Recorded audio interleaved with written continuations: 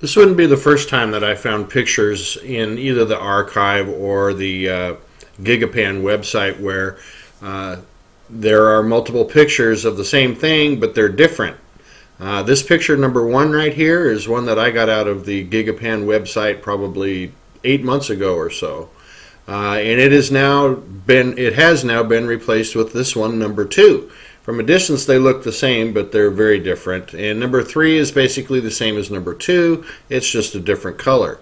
Uh, this first picture here I put up is a uh, is raw, and then from here on I'll have them sharpened. But uh, it's a you know it's a pretty detailed picture. Now it's not as clear as the Gigapan pictures uh, because of course they're always blurred. The arrow is pointing at a crane and it's a regular structure there or some kind of a structure with the crane sticking out over the edge. And then in the background on the hill on the other side there's some great detail on on structures and uh, uh, the way the structures have been aligned and so on. But now the uh, the building is uh, is is no longer a structure. It is a, a pile of rocks.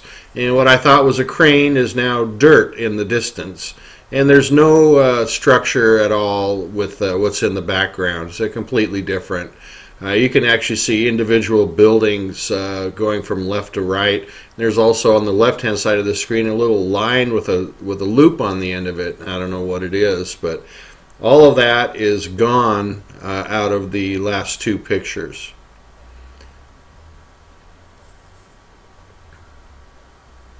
Now this is a burning building, and uh, these are these gray uh, things here are buildings. Uh, again, it's blurry; it's kind of hard to see.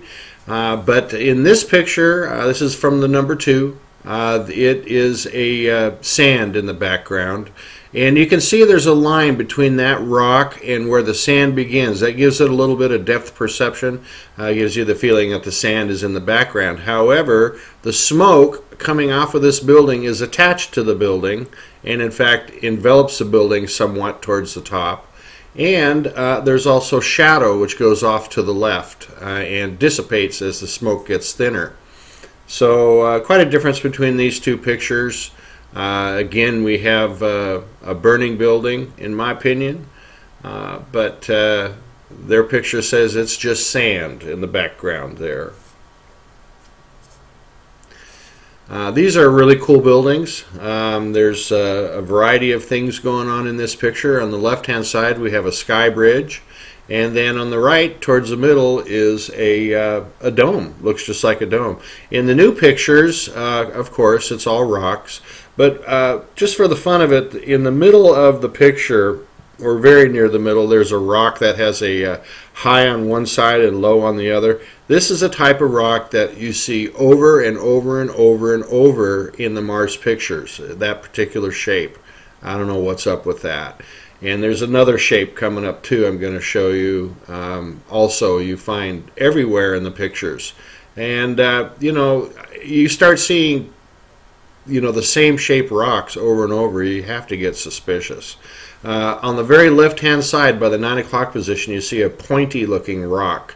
Uh, in, in this case, in this picture, it looks like structure, but in this picture, it looks like rock. And it's this pointy thing, and you see those everywhere. Uh, so I don't know what's up with that either.